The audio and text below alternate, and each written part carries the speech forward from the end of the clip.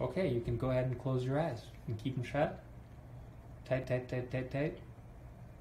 And now try to open them. Okay, open, open. I can't open them. Okay. or my mouth. But I get so I can't even talk. You know, 'cause my mouth, my, all my muscles. Okay. So keep keep going as best as you can to try to open your eyes. They're beginning to open now. Okay.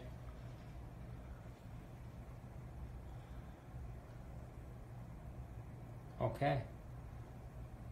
Okay, and can you also maybe explain to us why you have your beard? Because it keeps my face warm. All right. If I didn't have my beard, I couldn't even be outside. I'd be, my mouth and everything would be froze up on me, or I couldn't talk or anything without it In cold weather. in cold weather. Yeah. Gotcha. Okay, great.